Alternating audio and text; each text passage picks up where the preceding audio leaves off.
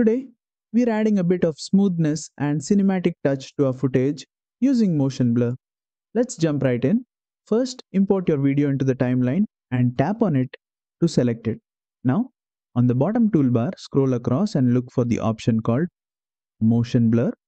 Once you tap on it, the effect will be applied and you'll see several customization options. Blur controls how intense the blur looks. Increase this to make the motion more dramatic. Blend adjusts how smoothly the blur blends with the original frame. Direction you can choose between forward, backward, or both, depending on how you want the blur to trail.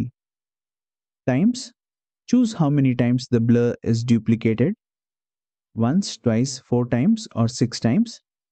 More repetitions make the blur smoother but can increase render time slightly.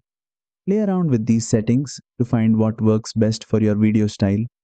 Once you're happy with the results, tap the check mark and you're done. And that's it. You've successfully added motion blur to your footage using CapCut Mobile.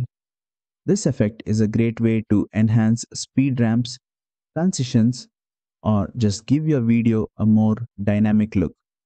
If you found this helpful, don't forget to like, share, and subscribe for more CapCut tutorials.